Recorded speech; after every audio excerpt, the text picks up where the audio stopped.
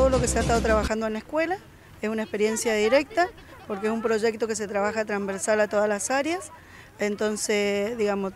toda la teoría, todo lo que se aplica, hoy estamos haciendo, eh, poniéndolo de manifiesto acá en, una actividad, junto con la Comisión de Ordenamiento y Educación Vial del Consejo Deliberante, con el señor eh, Guillermo Auser, que es el que nos ha convocado y nos está dando la posibilidad de que los chicos puedan em, ser ellos los protagonistas, digamos, de todo lo que uno, digamos, concientiza en la calle, de,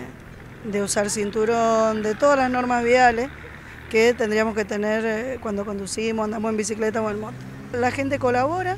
y a la vez reeduca también a los chicos porque ellos más allá que son poca la gente que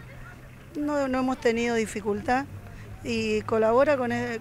la campaña y ellos mismos le piden a los chicos que ellos sean, ya que lo que están aconsejando, que también se incorpore el conocimiento y que, sean en un futuro,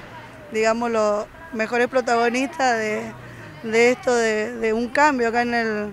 en lo que es prevenir accidentes, conducir con responsabilidad, cuidándose entre ellos. Para manejar correctamente el conductor tiene que tener puesto su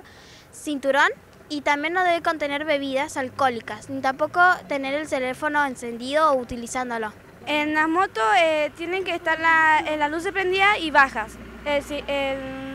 los frenos de atrás y de adelante en buen estado y el casco bien ajustado. Le ponemos un papelito adelante blanco y atrás rojo y tienen que estar los frenos igual que la moto y el casco y tienen que estar los, los frenos en buen estado, como en la moto.